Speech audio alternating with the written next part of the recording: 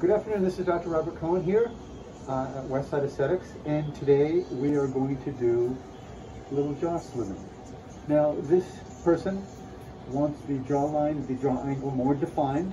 He's got a very great jaw, jaw angle, but we want to bring in where the masseter muscle is. He has hypertrophy of the masseter muscle on both sides, which means it's larger, which means the, the difference between the zygomatic arch, the cheekbone, and the jaw, it's not much because it's all flat.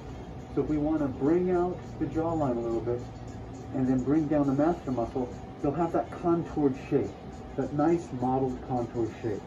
So what we're going to do is we're going to inject some Botox into the masseter muscle, and we're going to just give a little definition with a half a syringe of Radiesse on the jaw angle. And within probably about a month, the masseter muscle should hypertrophy, atrophy down a little bit and shrink and give that nice uh, angular look that he wants. It's shadowing. Okay? Let's get going. So the jaw, bite down. Relax. Keep going, Michelle. The jaw on the right side is more defined, the angle, than it is on the left side. Bite down. Relax. The left side angle comes way out here, like 135 degree. Relax. Okay. On the right side, Mm -hmm, I can see. Right down. It's more here. That's 90, so it's maybe about 100 degrees. So we want to make this, the left side, match the right side. Right down. Relax. We are injecting the posterior aspect of the masseter muscle. So I want to keep away. Bite down, please.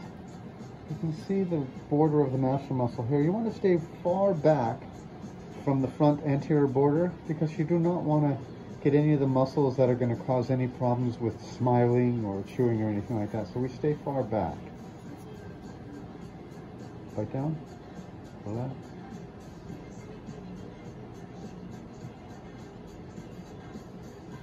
Good. We spread the Botox out where the masseter muscle is, hit the origin insertion, and hit the belly of the muscle, right down.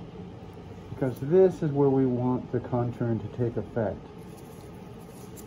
Right down, relax. Now if this person had bruxism or temporomandibular joint syndrome, I would be more concerned about injecting in not only the masseter, but the pterygoid muscle and any of the other ancillary muscles prevent the grinding. But since he does not have an issue with that, bite down, relax. We're just going to primarily go for muscle shape, muscle thinning, shrinking the muscle a bit. So what I do is I find the spot where I want it to go up to, about here, and I withdraw as I'm putting in the filler. And that is going to be the line that I'm going to try to define. Radiesse usually lasts anywhere from one to one and a half years. It's a calcium-based filler. I like using it on the jaw angle and the jaw line. It's quite good. Um, we do it with noses, we do it with cheeks, things like that. With this person, they're younger, they're very physically active in great shape, so it might get a year out of it, which is good. But what we're trying to do is give the hollowness, give the shadowing effect. That's going to take time with the Botox, and that should take a good, we'll see him back in like two weeks. If we need more, we'll do it, but first the muscle will become weaker, then the muscle will shrink. So we expect the effect to be about two months. So what we've done, on the right side, we don't need a lot.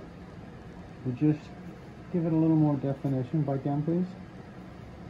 More definition. And on the left side, as you can see, we brought the angle from here back in to about 110 degrees. Bite down, please. Okay. All right. This is what's known as jaw contouring or jaw shaping. We do this quite often. This is Dr. Robert Cohen at Westside Aesthetics. This should last a good year with the Botox, you follow up every six months. Have a wonderful day. Stay safe. Peace out.